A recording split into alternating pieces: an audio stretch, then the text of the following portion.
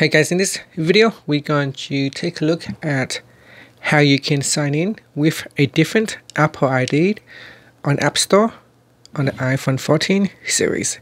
First, let's go back to the home screen by swiping up at the bottom of the screen. And on the home screen, tap on App Store. In the App Store, tap on your profile icon at the top now, if you do not see the profile icon, then make sure you tap on Today tab at the bottom, and then tap on the profile icon. Next, we go down to the bottom and then tap on Sign Out. Once you have signed out, you can now sign in with a new or a different Apple ID.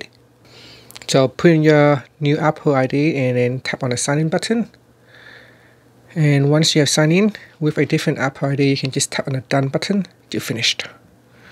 And that's it. That is how you can sign in to your App Store with a different Apple ID on the iPhone 14 series. Thank you for watching this video. Please subscribe to my channel for more videos.